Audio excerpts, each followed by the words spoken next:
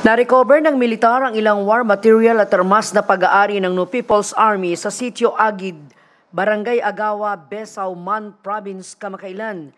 Sa report na inilabas ng 7th Infantry Division, nabatid na ang nagbigay ng impormasyon kaugnay sa mga itinatagong armas at mga war material ay ang dating miyembro ng NPA na voluntaryong sumuko sa militar na nakilalang si Antonio Tabling alias Andy.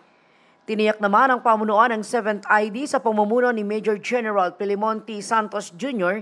na gagawin ng militar ang lahat ng pamamaraan para mabigyan ng kaukulang tulong ang sumukong rebelde. Ang mga tropa ng 81st Infantry Battalion ang nakarecover sa nasabing mga armas at mga improvised explosive device.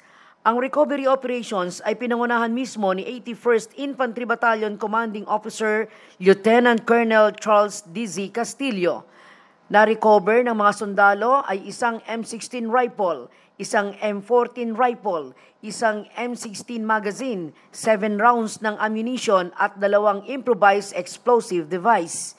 Si Tabling ay kasalukuyang nasa kustodiya ng Ilocos Sur Provincial Jail dahil sa kasong kriminal na kanyang kinakaharap. Para sa Balitang Nueva Ecija, ito si Mel Seriaco, nag-uulat para sa DWNE Teleradyo, ang inyong kakampi.